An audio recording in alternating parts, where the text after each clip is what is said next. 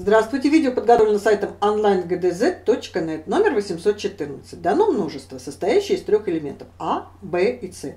Запишите все его подмножества. Сколько всего подмножеств у этого множества. Давайте запишем все подмножества этого множества.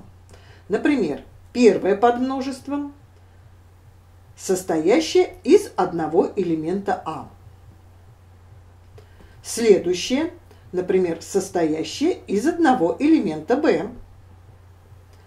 Еще одно состоящее из одного элемента C. Теперь подмножество, состоящее из двух элементов, например, А и Б. Подмножество, состоящее тоже из двух элементов, но А и С подмножество, состоящее из двух элементов b и c.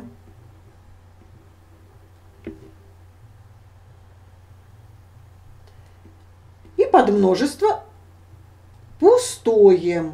Мы знаем, что пустое множество является подмножеством любого множества. То есть всего 7 подмножеств. Если у вас есть вопросы или пожелания, то оставляйте свои комментарии под видео.